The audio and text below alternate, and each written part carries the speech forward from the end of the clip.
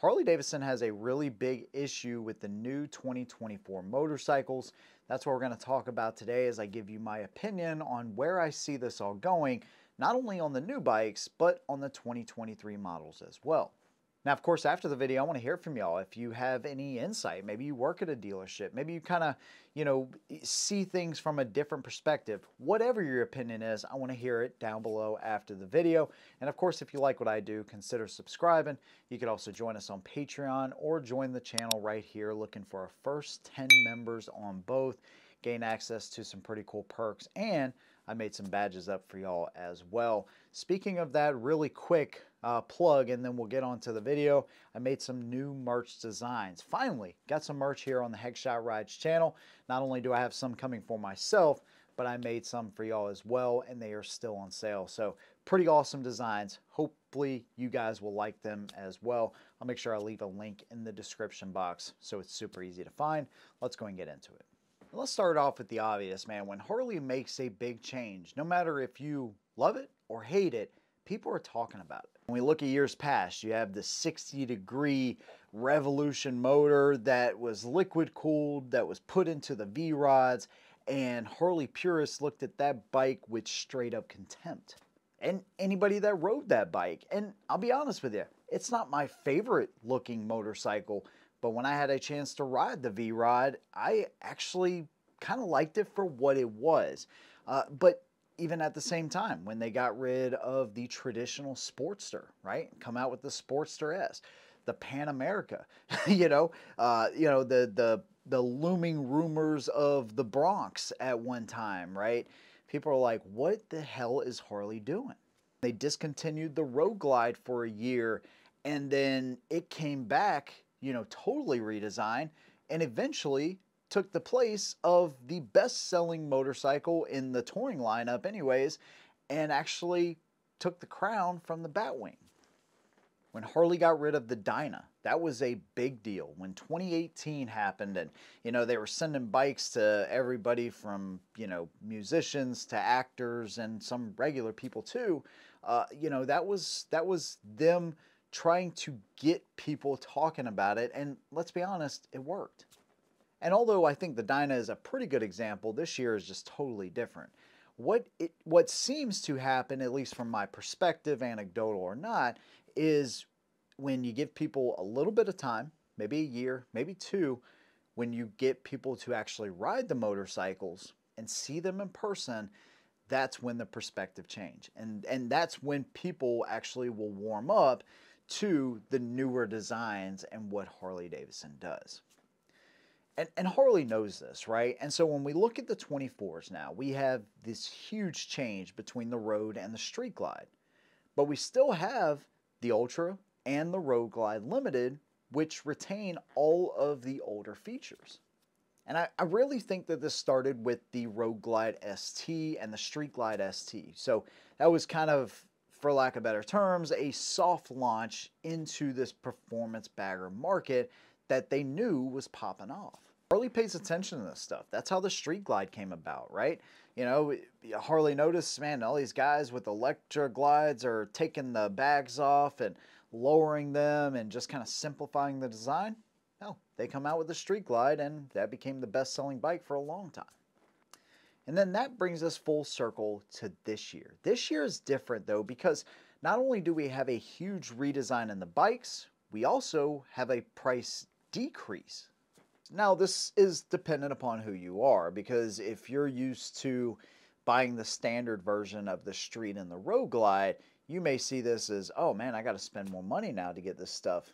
But considering what these bikes come with, with all of the rider aids, the screen, everything that we've talked about here on this channel, uh, it's actually a pretty good bargain.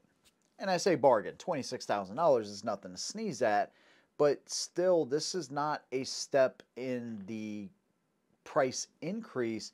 It is more of a decrease when you take all of the features and everything combined. So while the barrier to entry may be a bit higher than those standard models, uh, it still is quite a bit cheaper if you were to build out a standard and get it up to the point where the regular road and street glide are now.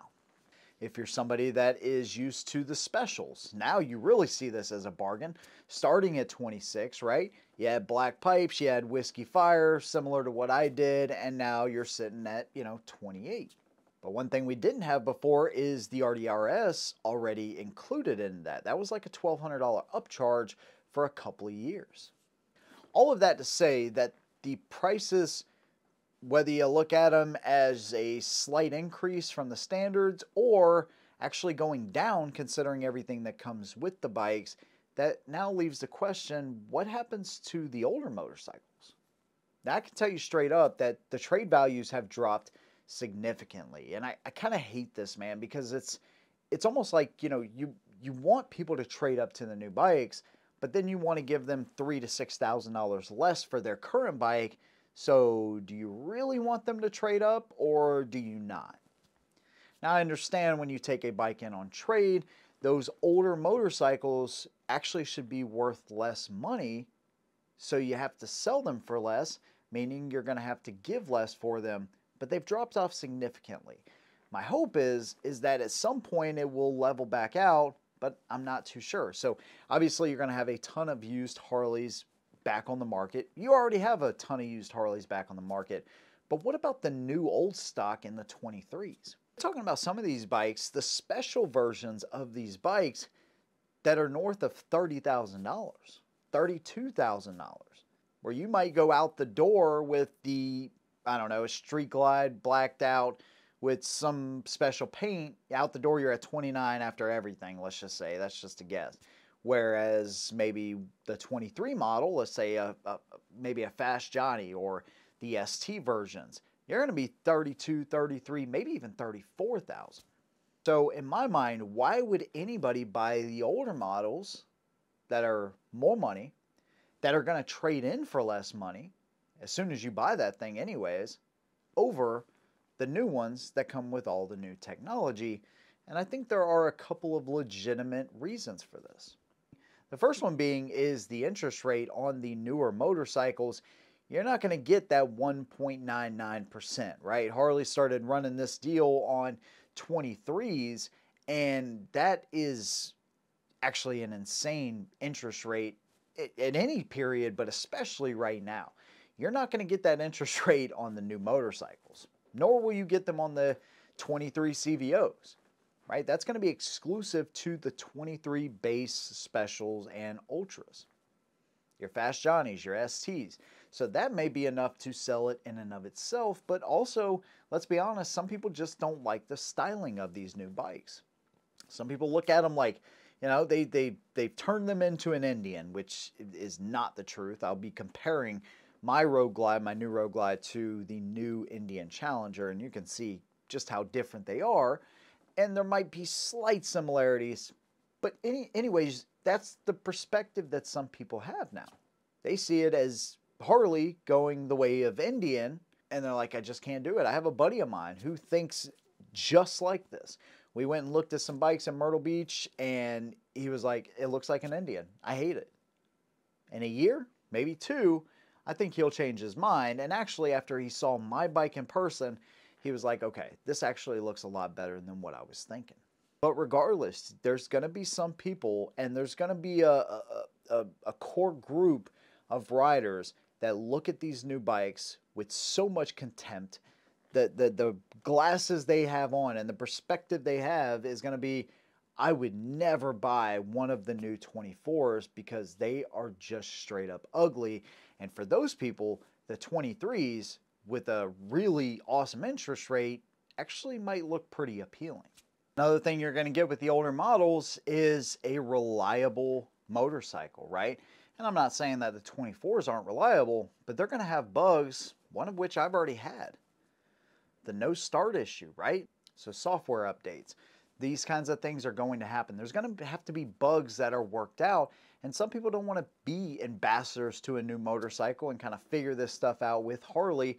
They would rather go with something that is reliable. And let's be honest, for as long as the new Road Glide has been out, or the, the new old Road Glide, I should say, um, you know, oil pump with the Milwaukee 8, all of those things have been worked out. That is a heck of a reliable motorcycle. Even my 2020 Road Glide that I had with 35,000 and some change on it, I never doubted that motorcycle starting up. Now again, that's not to say that 24s aren't reliable or won't be reliable. There's just things they're going to have to work out along the way. When it comes to the styling, you know, there's a lot of people that still like the stretch saddlebags. I'm one of them. Like I said, before I went out to this Harley Davidson event, I had no plans in upgrading my motorcycle. And one of the things that I really clung to was the fact that I like stretch saddlebags. I still like stretch saddlebags, but then I saw the new bags and the capabilities, and trust me, your boy was trying to fit everything I possibly could into those bags when I was in Las Vegas, and I made it work. I stretched them to the limit, uh, no pun intended. Uh, but literally, you know, I make sure nobody's around and, you know, just kind of jam them and close them.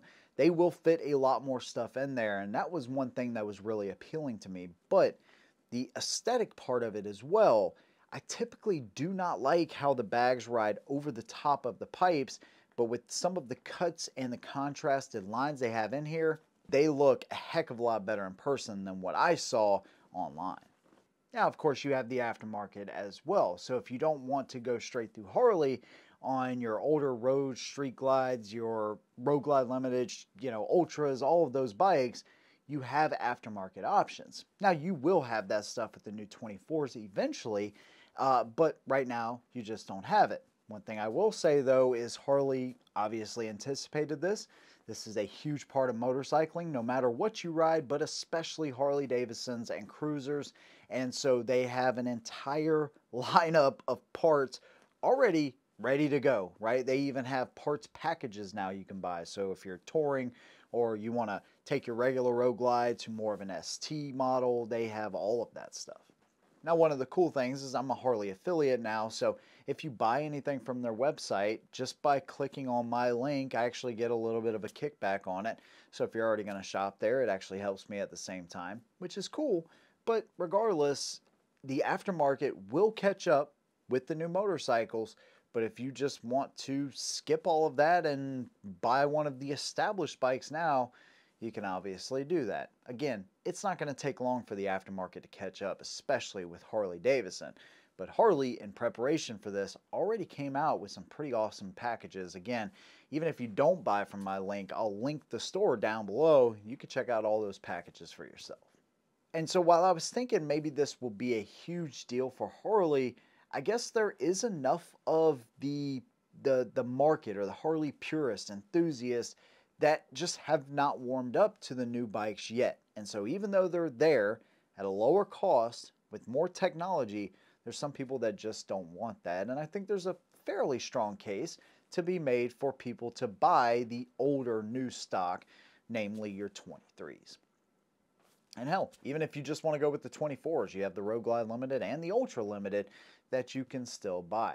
And they might just like the looks of it better right now anyways. Again, people will eventually warm up to the new design. Me personally, I decided to trade in my old 2020 Road Glide for the new one because I really like almost everything that they've done with the new motorcycles and all of the upgrades and changes that I plan to do with this bike. I'm going to put them right here on the channel. Also, any of the long distance touring, any of the trips that I take, and of course comparisons all right here as well. So if you're not subscribed, make sure you do that. Turn your notifications on. You could also sign up for my email and text messaging list. So if you don't get notifications here, I can get those notifications out to you whenever I put out a new video. Again, I'd really encourage you guys to check out the new merch that I have. Uh, pretty proud of it, and I think we came up with some pretty cool designs. If you'd like to see more content, early access, and other perks, you can join us on Patreon or join the channel right here or if you just want to check out another one of my videos, that'll be popping up on the screen as well. Big thanks to you guys. See you in the next one. And as always, hold them down.